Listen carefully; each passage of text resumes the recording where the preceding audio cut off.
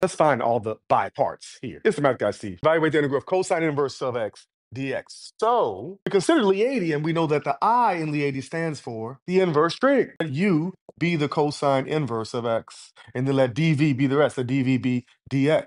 Then we derive down, integrate up. So du would be negative 1 over the square root of 1 minus x squared. And then we integrate up, so v would just be x. Then we use our ultraviolet voodoo. This becomes uv minus the integral of v du. u being cosine inverse of x, v being x, minus that same v x over, and then we put a negative 1, so plus 1 over the square root of 1 minus x squared dx. Hopefully it's an easier integral to integrate. It is, because it's just a u sub. Let u be the inside, 1 minus x squared, then du is negative 2x dx. In other words, negative half du is x dx. There's our sub bubble, our subble. So we get the cosine inverse of x times that minus half the integral of. This just becomes u to the negative half du. So using our power rule, we get cosine inverse of x times x minus half of u to the half divided by half. Don't forget the plus c. These halves end up canceling, so we get the cosine inverse of x